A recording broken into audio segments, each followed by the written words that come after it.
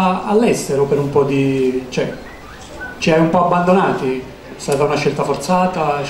No, è stato, un, no, no, è stato un regalo che mi sono voluta fare e mi sono autofinanziata in questa esperienza dove desideravo delle collaborazioni per quanto riguarda l'attività creativa, per cui la scrittura di nuovi brani l'ho voluto fare realizzando un mio grande sogno, quello di lavorare nello studio di registrazione con Linda Perry e nel suo studio di registrazione a Los Angeles, cos'è che è stata un'esperienza che mi ha dato molto, oltre ad aver maturato quattro dei brani che saranno presenti all'interno del prossimo album, oltre anche a dell'ulteriore materiale al quale abbiamo lavorato che comunque fa parte di, di, di quella grande esperienza e poi c'è stata un'altra fase sempre nel 2012 per cui mi sono divisa tra Los Angeles e no Londra.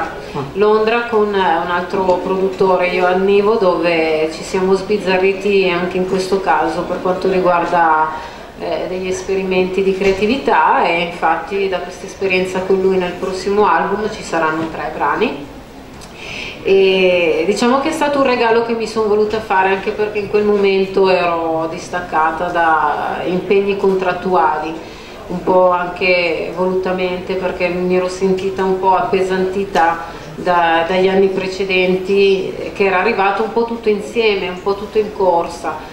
E ogni singolo album eh, arrivava a distanza di 12 mesi per cui accavallando le varie fasi, sia quelle di creatività, di live, promozionali e ho pensato che potevo farmi in quel momento un regalo che era quello di poter eh, creare dei, dei, degli spazi più, eh, più, ampi tra un lavoro e l'altro e, e, godermi di conseguenza le varie, le varie fasi che... Sei ritornata al supermercato? Una curiosità. Beh sì, la spesa la faccio un po' come tutti, anche io mangio. Ma dicevo dove lavoravi prima?